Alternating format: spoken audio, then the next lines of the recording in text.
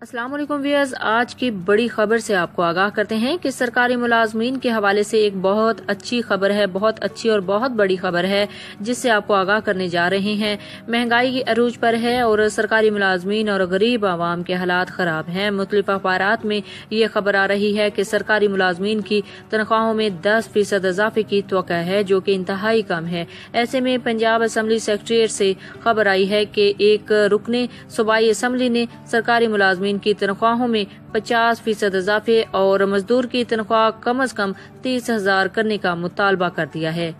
Wears مہنگائی کے اس دور میں یہ یقیناً بہت اچھی اور بہت بڑی خبر ہے سرکاری ملازمین کے لیے، لیکن اس ویڈیو کی تفصیل میں جانے سے پہلے آپ سے ریکویسٹ ہے کہ ہمارے اس چینل کو سبسکرائب کر دیں تاکہ ہماری نئی آنے والی تمام انفارمیٹیو ویڈیو سب سے پہلے پہنچے آپ کے پاس۔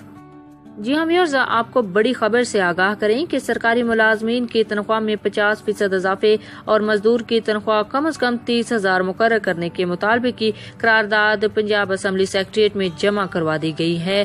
مسلم لیگ نون کی رکن اسمبلی عثما بخاری کی جانب سے جمع کروائی گئی قرارداد کے متن میں کہا گیا ہے کہ سبزیاں، پھل، دالیں، چینی، بجلی، گیس اور پیٹرول کی قیمتیں آسمان سے باتیں کر رہی ہیں اور دس ماہ کی تبدیلی نے عام آدمی کو فاقوں پر مجبور کر دیا ہے۔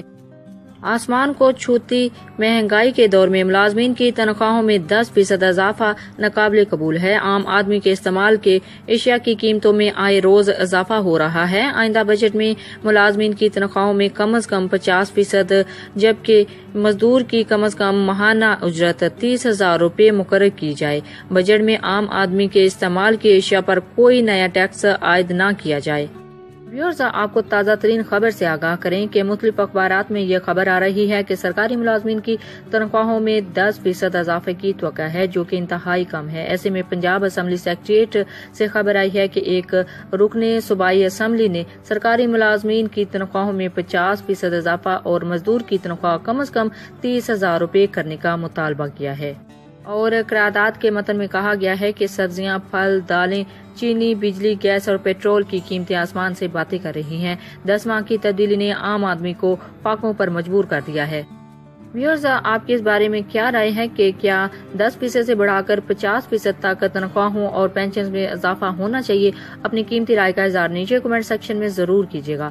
اگر یہ ویڈیو آپ کو پسند آئی تو اس کو لائک کیجیے گا، شیئر کیجیے گا، ساتھ ہی ساتھ نئی آنے والی تمام انفارمیٹیو ویڈیوز کے لیے ہمارے اس چینل کو ضرور سبسکرائب کیجیے گا۔ اور آپ کو بتا دیں کہ سرکاری ملازمین کے حوالے سے آنے والی نئی اپڈیٹس جاننے کے لیے ہمارے اس چینل کے ساتھ جڑے رہیے۔